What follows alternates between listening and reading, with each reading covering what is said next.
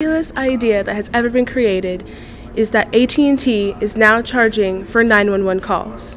If that's the case, how will the people get the help they need if they don't have the extra money to spend?